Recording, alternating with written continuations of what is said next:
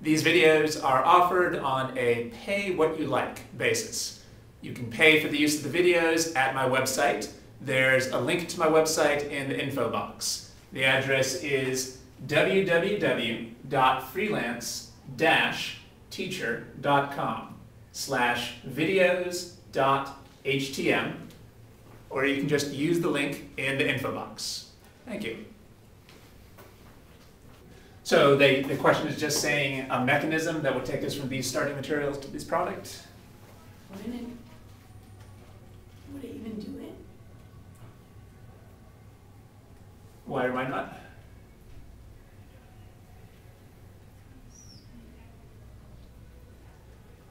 Wait, what's the question? Because SN, They want a mechanism that would take us from these starting materials to this product. Don't know, just because I feel like it wouldn't want to do it because it's tertiary carbon. Okay, well, let's uh, start with the mechanism and see how it goes. Let's see if we can draw a reasonable first step. So,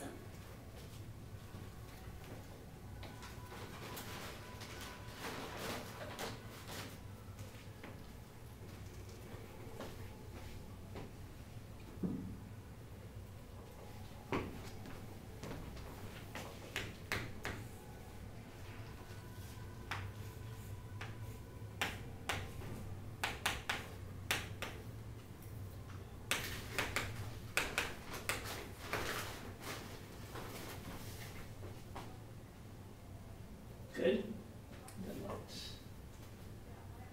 So it looks like you guys have uh, made some, we, we never went through the mechanisms for the Friedel-Crafts reactions before, but it looks like you've learned those on your own, so that's good.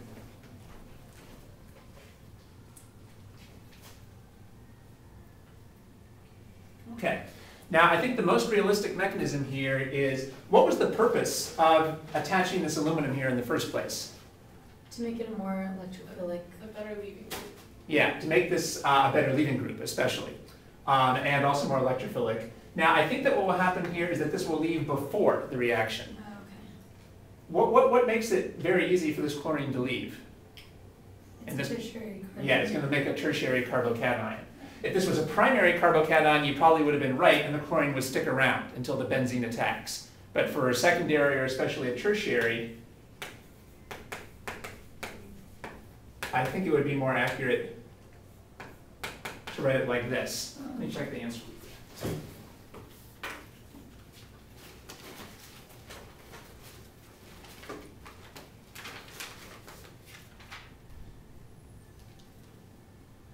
Yeah, so in the answers, they show the, the actual full carbocation formed.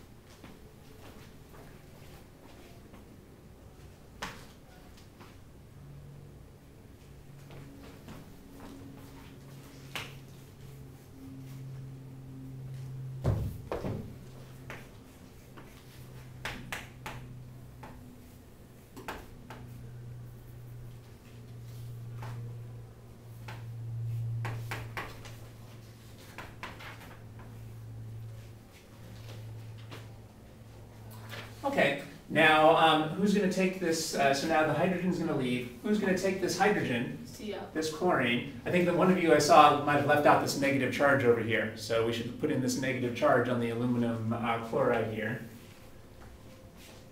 Um, this chlorine lost its positive charge when it left, but the aluminum still has a negative charge. Neutral aluminum would tend to have only three bonds, like boron, so when it has four bonds, it has a negative charge.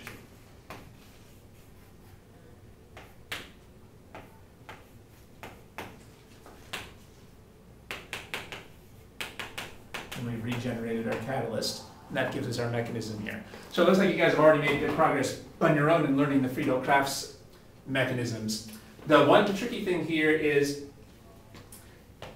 if we, when we add the Lewis acid to a tertiary alkyl halide, we probably are going to end up forming a full carbocation. Whereas if we'd only added it to a primary, we would not form the full primary carbocation before the benzene attacks. Even with a secondary, you might show the carbocation being formed, because secondary carbocations can be formed too. Oh, okay, yeah. It's only for the primary that you definitely don't want to show the carbocation being formed, because we don't like to form primary carbocations. Other than that, it looked like you guys were pretty comfortable with that mechanism. Write the expected major product.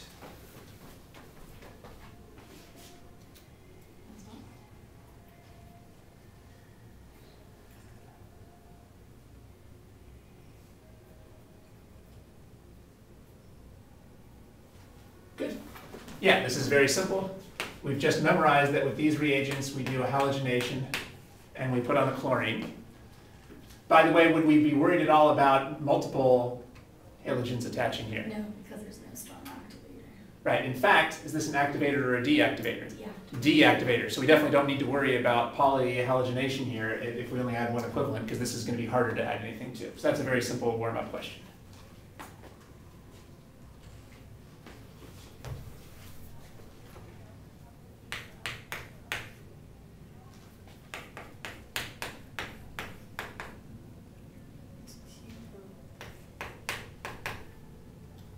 Yes.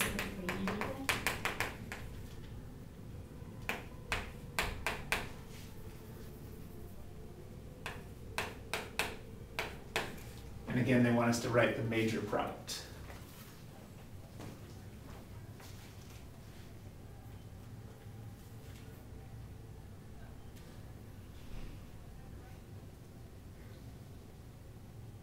TSO3.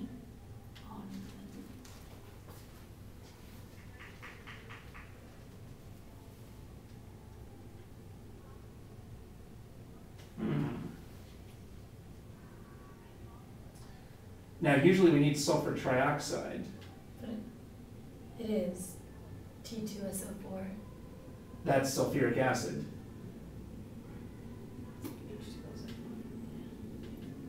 Isn't that how we usually do this?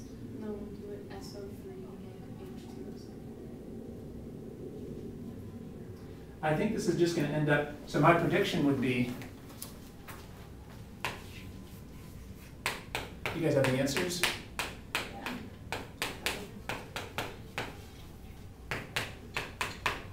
This is might be my prediction.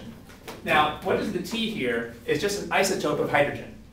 We're, we're very used to using deuterium, right? Deuterium is the normal isotope, and here we're just using a different isotope of hydrogen.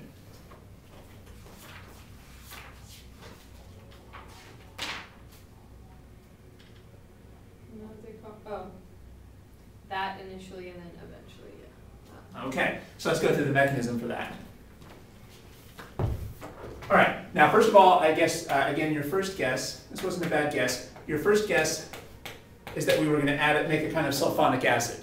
But remember that in order to do this, we actually need sulfur trioxide. Remember, that's the fuming sulfuric acid. So I guess they could have done it if they had these reagents. I think this would have been the right answer. With these reagents, this would have been the right answer. But we don't, uh, we really, the, the, the nucleophile is really the sulfur trioxide, not the sulfuric acid here. So they, we, we only, they either have to specifically show the SO3 or they have to say fuming sulfuric acid, which means that they've added the SO3. So without the SO3, we're not gonna get this product. And again, the key thing to remember is that the T is just an isotope of hydrogen. It's just gonna act like hydrogen. Well, any guesses as to what's gonna happen first here? The T two O will get protonated. That's not a bad guess, um, but uh, it turns out that won't help us to get to anything interesting here. Okay, the alkene, one of the alkene bonds will steal a T from T two S O four. That's right.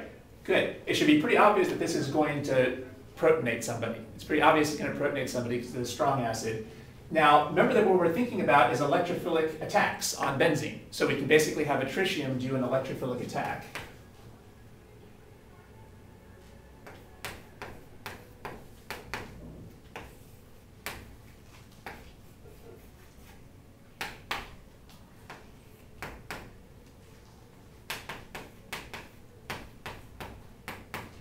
So that would give us this.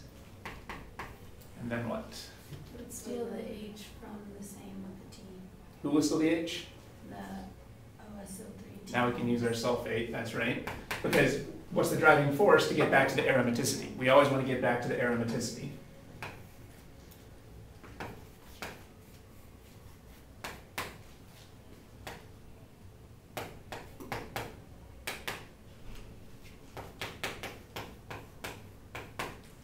That would give us this.